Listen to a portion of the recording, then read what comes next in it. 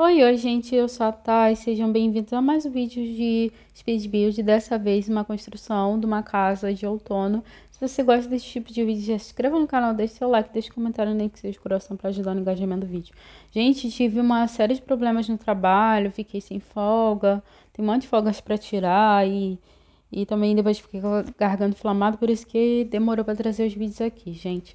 É, então, dê o apoio, dê seu like, vou estar tá retornando com os vídeos aí. Eu também tenho que acompanhar os youtubers que eu sigo, que eu também dei uma sumida, né? Porque várias coisas. Ainda tem que, tipo assim, além do, do trabalho, ainda tem que lidar com a vida pessoal, então às vezes fica complicado.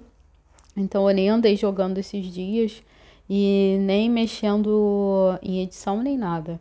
Mas, gente, essa casa aqui é uma casa pequena, 15 por 20, todos os detalhes vão estar na descrição.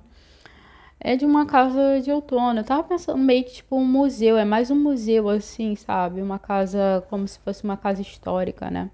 Ah, outra coisa, gente, eu eu Nessa casa também tem uma construção do, de uma rua, né? Que é, são duas casas, né? De outono, né? Tá na minha galeria, você tem opção tam, tanto de você baixar uma casa só, como as duas casas. Então, você é, escolhe lá.